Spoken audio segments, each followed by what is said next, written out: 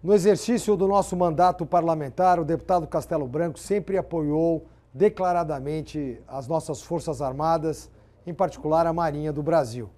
E hoje estamos aqui prestigiando a presença de um dos maiores veleiros do mundo que pertence à esquadra brasileira. É um navio escola, o veleiro Cisne Branco, que hoje, dia 5 de outubro de 2022, quarta-feira, está ancorado aqui no Porto de Santos.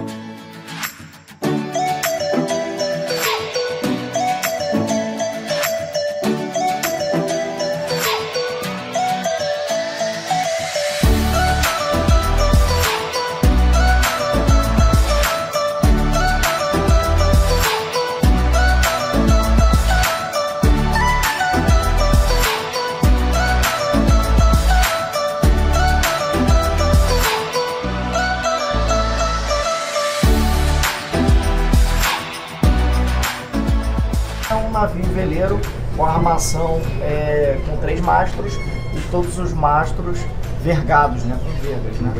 E, é, e a- esse, esse tipo de armação, três mastros com verga, é, é chamada é, galera. Então por isso que no hino fala, linda galera, que noite apagada. Galera é esse tipo de navio com três mastros com verga. E o nosso navio, o veleiro Cisne Branco, ele é uma galera.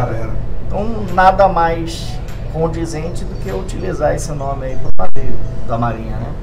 Então por isso o navio se chama Cisne Branco.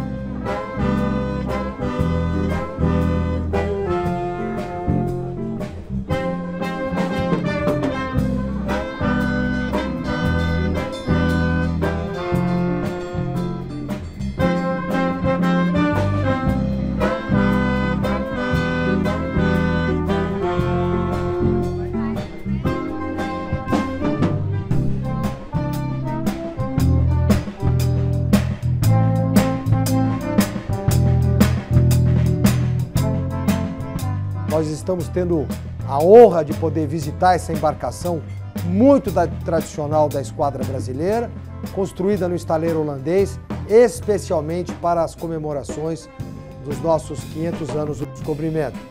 Fomos muito bem recebidos pelo capitão de mar e guerra Sérgio Tadeu, pelo seu imediato Arruda, enfim, por toda a tripulação deste tradicional veleiro brasileiro. Tudo pela pátria, para a Marinha do Brasil, a nossa melhor continência.